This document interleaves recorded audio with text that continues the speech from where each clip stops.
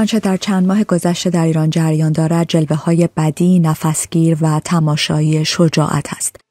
در اپیزود پنجم پادکست موقعیت استراری از فضیلت شجاعت و زرافت ها و جلوه های آن حرف می‌زنیم. من لیلی نیکو نظر هستم و این پادکست را درباره اعتراضات ایران می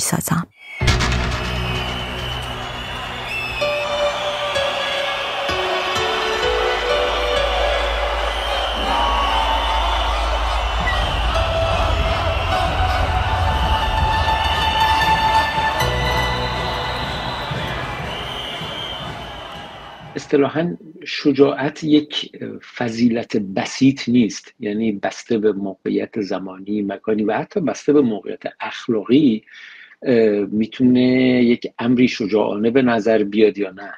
اصلا شجاعت می‌تونه امر لازمی باشه یا نه. این یک نکته. نکته بعد این است که شجاعت در طول تاریخ دو تا بچ داشته. یکی مردانه بوده. یکی هم اخلاقی بوده که برای سربازان تبلیغ می شده یعنی از اول که شما می‌رفتی سربازی یا عنوان سرباز چیز می شدی به تو می‌گفتن شجاع باش شجاع باش شجاع باش. فضیلت یک سرباز شجاع بودنه.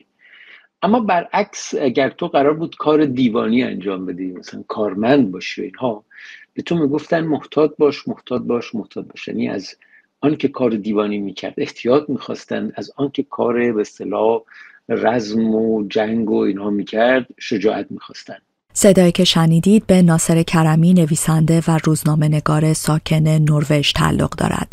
نکته که کرمی اشاره می کند اتفاقا آن وجهی از فضیلت شجاعت است که در این روزهای ایران معنا و تبلور پیدا می کند. شجاعت و دلیری زنان، سلحشوری زنانه.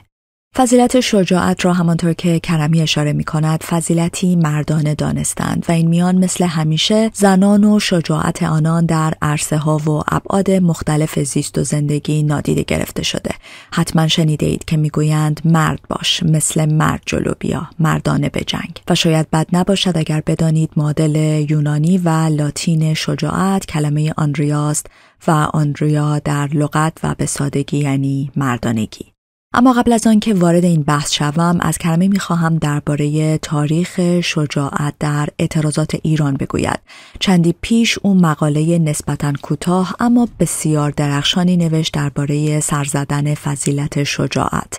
درباره ظهور ناگهانی شجاعت در زندگی ما ایرانیان. و قیاب آن را به دوران اصلاحات و ظهور یک اقلانیت سرد اصلاح طلبانه نسبت داد. از او خواستم در این پادکست کمی بیشتر بگوید و توضیح بدهد چرا فکر می کند شجاعت در اعتراض برای دهه ها از زندگی ما ایرانیان حذف شده بود. کاری که اصلاح طلبان کرده بودند این بود که اونها فضیلت احتیاط رو به عنوان فضیلت غالب جا انداخته بودند و برعکس شجاعت رو به عنوان یک چیزی که مثل نمال آمیانش میشه کل خر بودن بی احتیاط بودن. اصلا شما می‌دیدید دیگه آدم هایی که مثلا جنگیده بودن تحقیر می‌شدن. یعنی آدمی که افتاده بود زندان می‌گفتن این چه ابلهیه دیگه. مثلا آدمی که خودشو به خطر انداخته بود این چه ابلهیه. این از اواخر دهه شست به تدریج این کم کم جا افتاد دهه هفتاد تبدیل شد به اخلاق غالب. ما این نسل جوانی می‌دیدیم دانشجو. من اون موقع دیگه سالهای آخر دانشجو بود می‌دیدم که دانشجو اساسا یک آدمی بود مطلقا محتاط. دانشجوی که کتاب می‌خوند و سیاست رو هم پیگیری می‌کرد و مطلقا محتاط. چون نشون می‌داد اصلاح طلبان و اساسا جمهوری اسلامی الان هم اون موقع هم اصطلاحا مردم رو کارمند می‌خوان نه سرباز. کارمند کسی که اطاعت می‌کنه سرباز کسی که میجنگه. کسی که یاد گرفته به جنگه و شجاعانه به جنگه طبیعتا اگر حقش خورده بشه اگر احساس نابرابری بکنه اگر احساس تبعیض می‌کنه نوع برخورد رو میکشونه به جنگ و مقابله و اینها. ولی آدمی که یاد گرفته فقط محتاط باشه رفتاری کارمندبار داشته باشه اون نمی جنگه اون کنار میاد. با همه چیز کنار میاد. با رأی دادن به ری شهری کنار میاد با رأی دادن به دوری نجف آبادی کنار میاد با هر کسی کنار میاد اینها. و ما این رو دیده بودیم دیگه اینها. و اون چیزی که تغییر کرد توی این انقلاب کنونی مردم ایران اینه که فضیلت اخلاق شجاعت به یک فضیلت برکشیده شد بالا. برخلاف آنچه که به خصوص اصلاح طلبان که رسانه ها و اون پیشانی و ویترین رسانه رژیم بودن به اصطلاح تبلیغ می‌کردن. ما یک نسل جدیدی رو دیدیم. که شجاع است و این شجاعت رو به اصطلاح یک فضیلت غالب پیگیری می‌کنه می‌خواد اخلاق کارمندها رو نداره و هرچه هم که رژیم به اصطلاح دست و پا می‌زنه سعی می‌کنه که مثلا یک جوری به یک چیزی راضیش کنه ولی دیگه راضی شدنی نیست. چون اون کارمندها بودن که به هر نواله ناگزیری گردن کج می‌کرد. من نمی‌خوام توهین کنم به کارمندها منظور کسانی است که کار دیو همیشه بوده تو تاریخ. اونهایی که کار دیوانی می‌کردن تابع حکومت بودن به طور کامل و اینها. از اون جهت می‌تونم بگم که اصلاح طلبان شجاعت رو به اصطلاح تقلیل دادن و از بچه یک فضیلت غالب از بین بردن و به جاش یک چیزی رو تبلیغ می‌کردن به نام تدبیر و اقلانیت و احتیاط و اینها که ترجمهش می‌شد این که اطاعت کنید و به دنبال ما را بیفتید و ما شما رو هدایت خواهیم کرد. همه ما این روزها در کنار خشم، ترس و استراب، سوگ و اندوه لحظه هایی از وجد را تجربه می کنیم. وجد از دیدن این همه شجاعت. اما جلوه های این شجاعت چرا این همه زیباست؟ چرا قلب ما این چنین در لحظه رویارویی با شجاعت می شکفد، بزرگ و شاد می شود؟ رویارویی با مرگ و چیرگی بران، شهامت اخلاقی بلندی ایستادن در برابر ظلم، دلهورهی که با مهیبی آمیخته نزدیک شدن به پیروسی خلق کردن از هیچ چیزی آفریدن. از ناصر کرمی درباره همین موضوع پرسیدم. یکی از مهمترین نکته ها درباره شجاعت اینه که شجاعت یک فضیلت درخشانه و وجه زیبایی شناسانه داره. یعنی به یک ارزش اخلاقی خیلی چیزها ارزش اخلاقی هن. ولی اینقدر طبیعی مثلا نمی‌دونم محبت به مادر محبت مادر به فرزند حتی راستگویی. خیلی از موارد این شکلی در حالت عادی بخش از رفتار روزمرن که همه روزه ما انجام میدیم اینا. ولی شجاعت یک رفتار ویژه است. به یک زیبایی شناسی ویژه داره. رفتار شجاعانه به شدت زیباست و به همین خاطر به راحتی می‌تونه در هنر در چیز نمود پیدا بکنه. یعنی ما فیلم های فیلم ها اغلب درباره شجاعتن. یعنی در اغلب فیلم ها یک کسی داره شجاعانه از یک چیزی به اصطلاح عبور می‌کنه. داره شجاعانه یک مرزی رو پشت سر می‌ذاره. داره شجاعانه یک چیزی رو به دست میاره چون در شجاعت زیبایی شناسی و یک بچی از درخشندگی هست. ما همین رو می‌بینیم. شما ببینید در مدت کوتاهی که از این انقلاب گذشته هنوز سه ماه نشده. چقدر ترانه ساخته شده. چقدر آثار هنری کاریکاتور نقاشی ویدیو نمی‌دونم ویدیو کلیپ اینها ساخته شده. ما اصلا ندیده بودیم اینا رو. 20 سال اصلاح طلبان جریان اصلاحات داشتن. چند تا ترانه از توش در اومده یا چند تا کار هنری ازش در اومده یا جریان های قبلی حتی اون مثلا جنبش 88 و بقیه اینا. ولی تو این سه ماه شما ببینید چون به نظر من آنچه که این زیبا این رو برانگیخته هنرمندان رو چون آن همه زیبایی است که در خیابان داره رخ میده. آن همه زیبایی است. اون یکی از این اولین آیکون های این جنبش این بود که اگه به خاطرتون باشه یک دختری در تاریکی شب موهاش رو از پشت موهاش رو که رها بود پو چیز می‌کرد میبست گره می‌زد نمی‌دونم کشمو میبست و می‌رفت به داخل تاریکی به دل تاریکی. چقدر روی اون آهنگ گذاشتن چقدر سعی کردن اونو تقلید کنن. چیز خاصی نبود یه دختری داره موهاشو میبنده و راه میفته میره. اتفاقا چیز خاصی هم جلوش نبوده. یعنی تو نمی‌دیدی اون جلو مثلا یه قرار اینو بزنن یا بکشن. اما یه دلهوره ای توی این بوده یعنی نوع حرکت این دختر که اینجوری موهاشو میبست و رام میافتاد بره تو دل تاریکی خیلی زیبایی شناسانه بود. و کلی هم دیدید روش آهنگ گذاشتن و آیکون شد و اینها. به نظر من این بعد زیبایی یک فضیلت شجاعت به عنوان یک فضیلت درخشان مصریه. و شما می‌بینید که این به تاثیر خودش رو گذاشته و چقدر می‌کشن چقدر چقدر آدم چند صد آدم کشتن. چندین هزار آدم دستگیر کردن. ولی مردم کماکان توی خیابونن و کوتاه نمیان. چون زیبایی جذب می‌کنه. زیبایی نگه میداره. زیبایی و اون درخشندگی اثر خودش رو گذاشته. و این نکته مهمیه که در این انقلاب کنونی ما می‌بینیم. انقلاب زن زندگی و آزادی.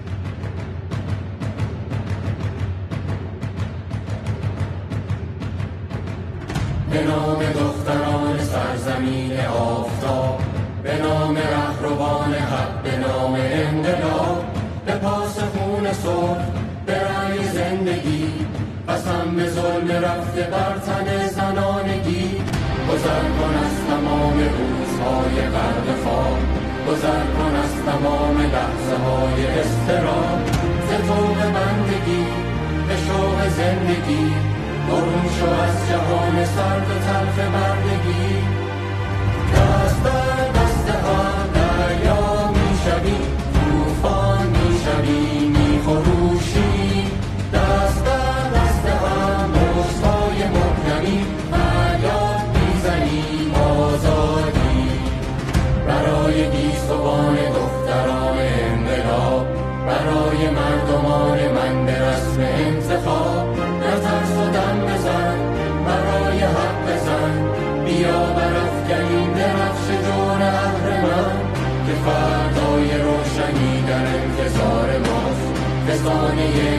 گذشته بر نوان بچه هاست.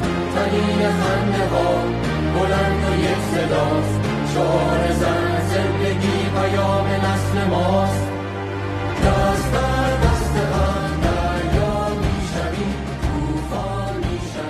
میخروشیم دست در دست اما زن زندگی آزادی چه به ما آموخت که جلوه های نابی از سلحشوری زنانه را ببینیم.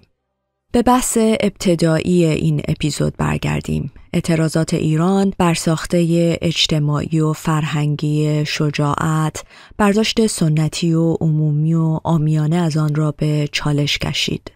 در ادامه این اپیزود با زنان معترض حرف زدم. می‌خواهم صدای این زنان شجاع را بشنوم که چطور شجاعت را در این روزها معنی می کنند و چطور آن را می‌فهمند و در نهایت از آنان می‌خواهم یک صحنه، یک جلوه، یک رویارویی مستقیم خود با مظاهری از شجاعت در خیابان را با شنوندگان این پادکست به اشتراک بگذارند.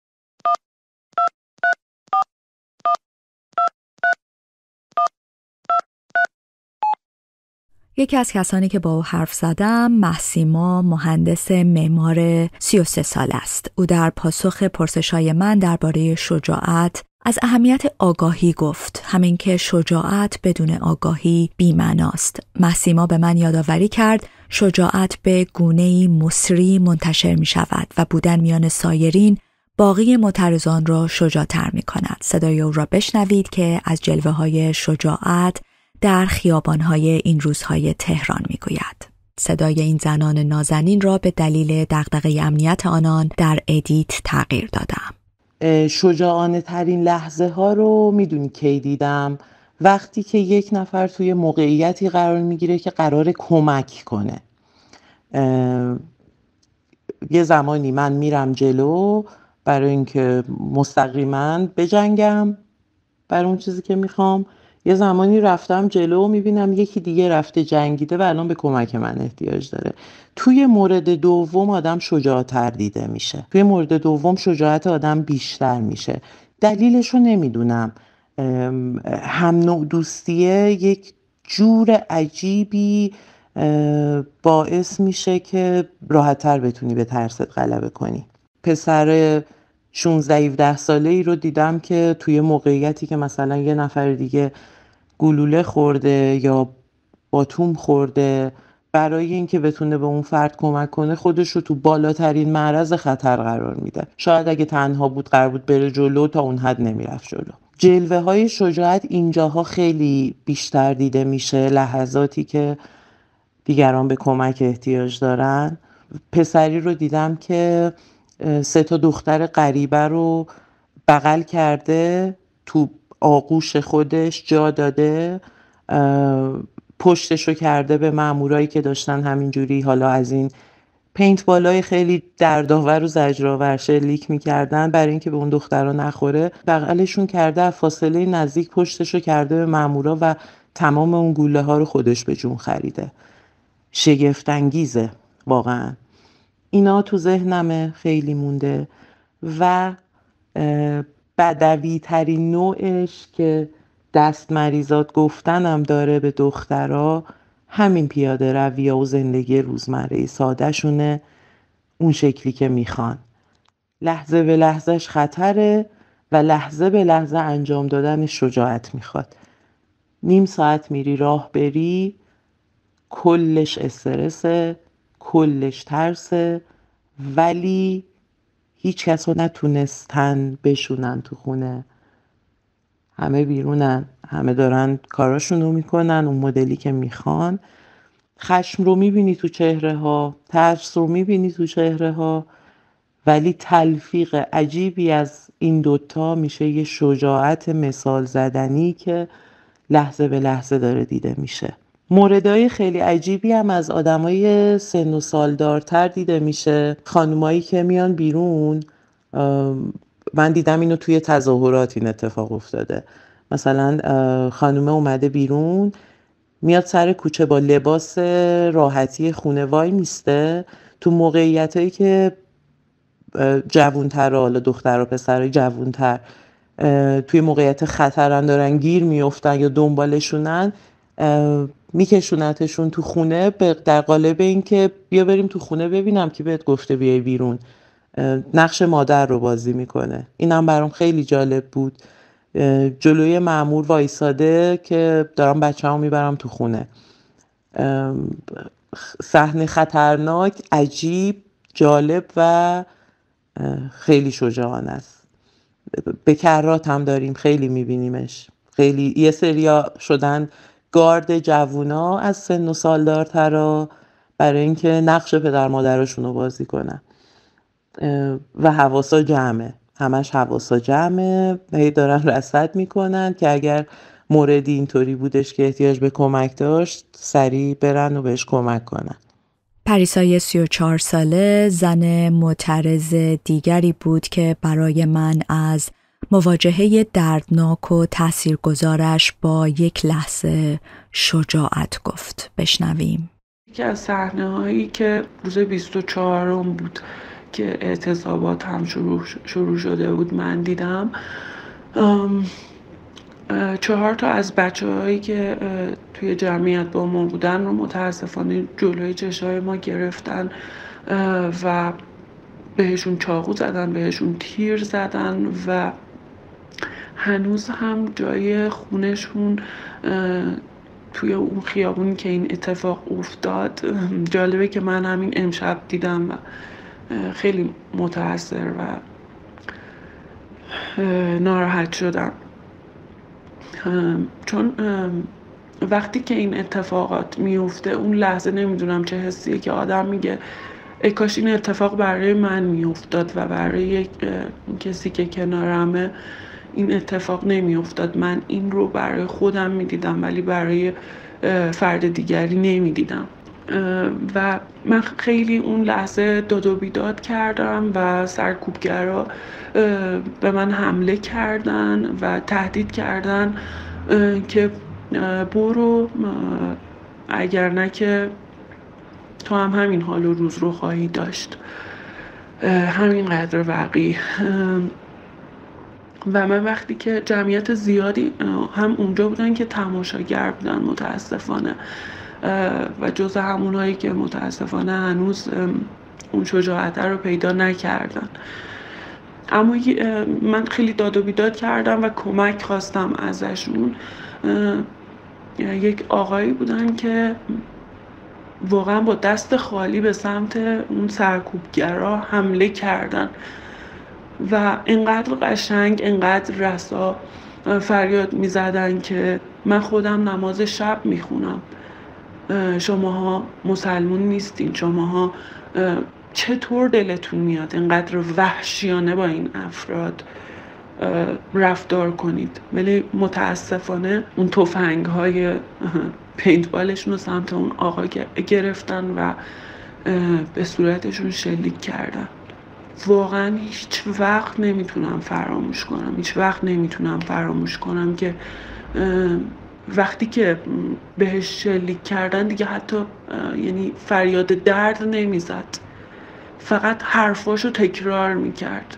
فقط شعارهاشو تکرار می‌کرد. در صورتی که اصلا برای اعتراضات نیومده بود.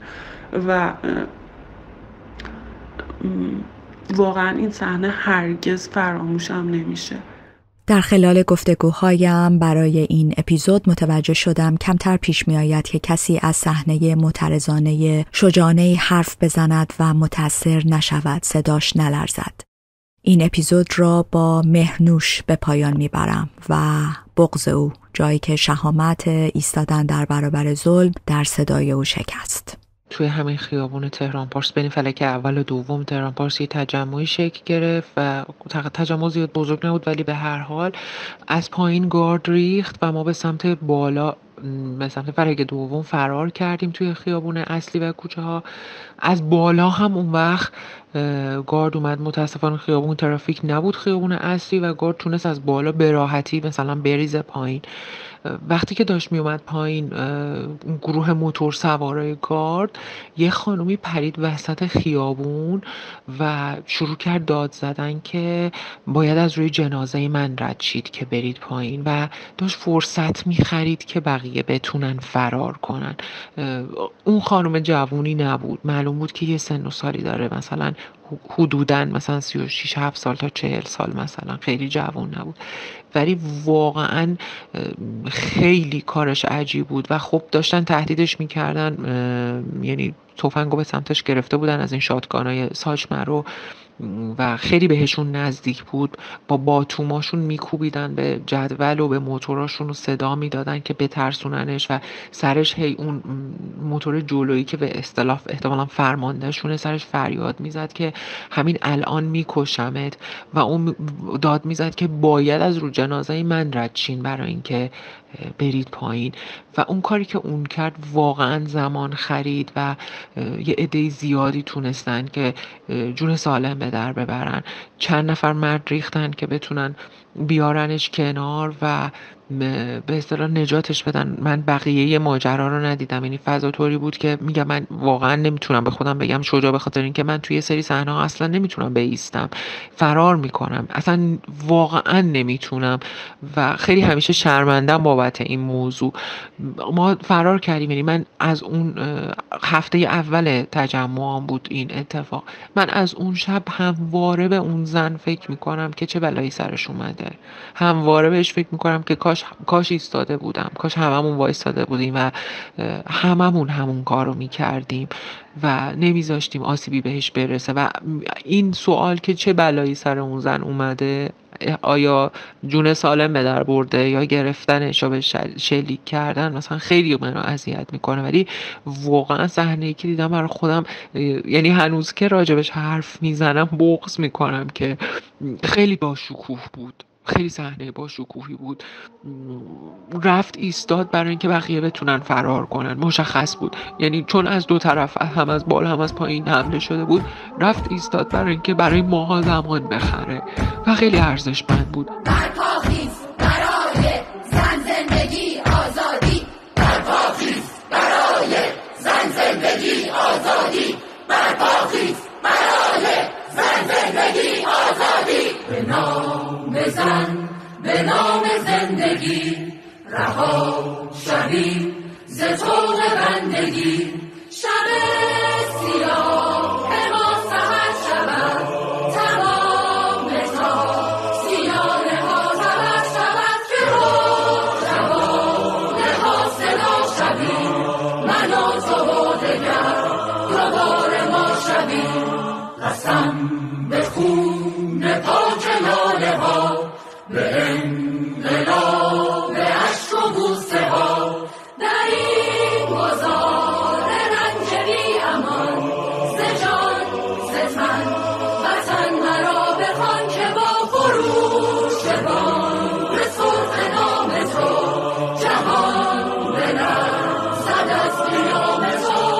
به نام زن به نام زندگی رهیده شد لباس بردگی شب سیاه.